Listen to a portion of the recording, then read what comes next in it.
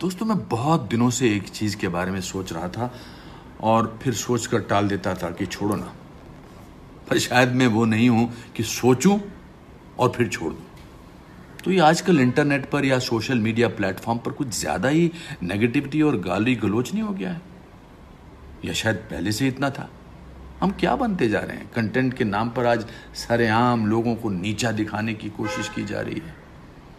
कहीं हिंसात्मक और अश्लील वीडियो सामने आ रहे हैं तो कहीं लॉकर रूम जैसे किस्से।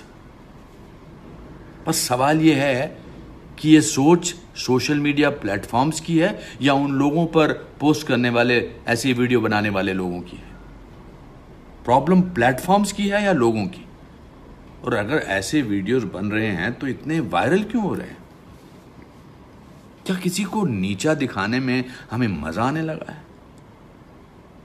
क्या इस किस्म के लोग आम ज़िंदगी में भी अपने माँ बाप भाई बहन के सामने ऐसी माँ बहन की गाली देना इतना आसान समझते हैं? क्या इसी को कूल समझा जाने लगा है? क्या इस किस्म के वीडियो बनाने वालों के परिवार वाले उनके कंटेंट को देखकर गर्व महसूस करते होंगे? कहते हैं, हर वीडियो कुछ सिखाता है, आपके अंदर का सच दिखाता है। तो क्या यही ऐसे लोगों के अंदर का सच है? मैं तकरीबन हर सोशल मीडिया प्लेटफॉर्म पर हूँ, चाहे वो ट्विटर हो फेसबुक हो टिकटॉक हो या इंस्टाग्राम हो। और मुझे इन सभी प्लेटफॉर्म्स के कंटेंट से बहुत कुछ सीखने को मिलता है। जैसे दुनिया की बहुत सारी चीज़ों के बारे में जानकारी, लोगों का हुनर, लोगों का ह्यूमर और ज्ञान का आदान प्रदान। इन प्लेटफॉर्म पर मुझे अपना पक्ष कहने का भी बहुत अच्छा मौका मिलता है। मैं अपने काम को प्रमोट भी करता हूँ, चाहे वो मेरी फ़िल्में हों, मेरे द्वारा बनाए गए वीडियोज़ हों या मेरी लिखी हुई किताबें हों। पर मेरी पूरी कोशिश रहती है कि मेरे द्वारा किसी को दुख ना पहुँचे या मैं किसी को तकलीफ़ ना दूँ। हाँ अगर कोई मेरे परिवार वालों को बिना प्रोवोक किए गाली देता है तो मैं उसका जवाब देना भी ज़रूरी समझता हूँ।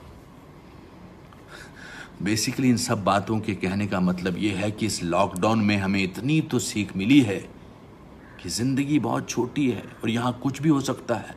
तो क्यों ना नफरत छोड़कर प्यार को बांटे, अपनी बुराई की जगह अपनी अच्छाई को दिखाएँ। ठीक कह रहा हूँ ना? सोचिए जरा। क्या हाल है माता जी क्या हाल है? तेरा ही ख्याल है। का अच्छा। अच्छे मूड में लग रहे हो?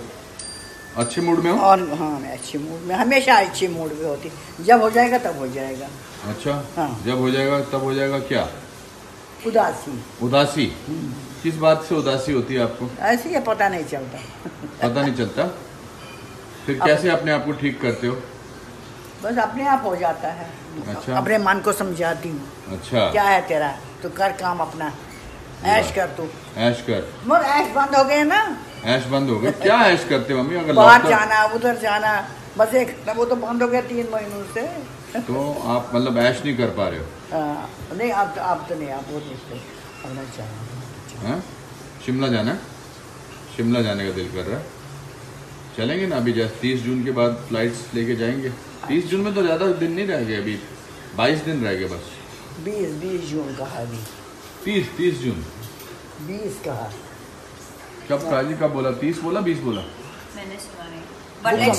श्रीनगर में भूकंप आया।